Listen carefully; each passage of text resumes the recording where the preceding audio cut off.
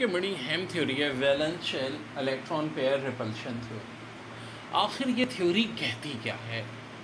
Two types of electron bond pair and lone pair surround the central atom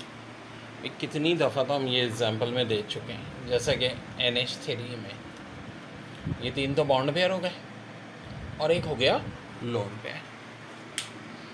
अब इसको देने वालों में सिक्विक भाई भी हैं, जो कोऑर्डिनेट कोवेलेंट बॉन्ड के फाउंडर हैं. Repulsion occurs between pair resulting in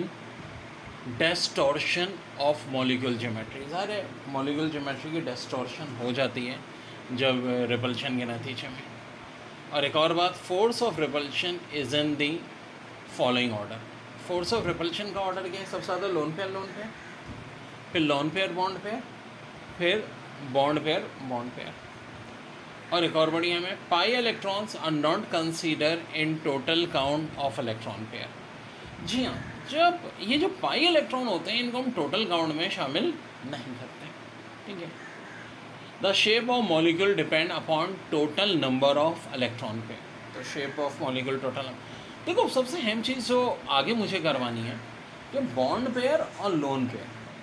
ये कैलकुलेशन के सवाल बहुत आते हैं आपको एक कंपाउंड दे देते हैं और कहते हैं कि इसमें लोन पेयर और बॉन्ड पेयर कितने हैं तो बेसिकली इसका जो इस्तेमाल है वो है हाँ, ये एम सी क्यूज़ बड़ी अहम आती है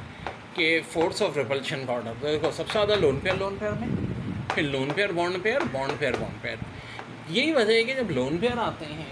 जहाँ इन्वॉल्व होते हैं तो हमारी जोमेट्री चेंज हो जाती है सबसे ज़्यादा repulsion lone pair lone pair की फिर लोन पेयर बॉन्ड पेयर फिर सबसे कम बॉन्ड पेयर बॉन्ड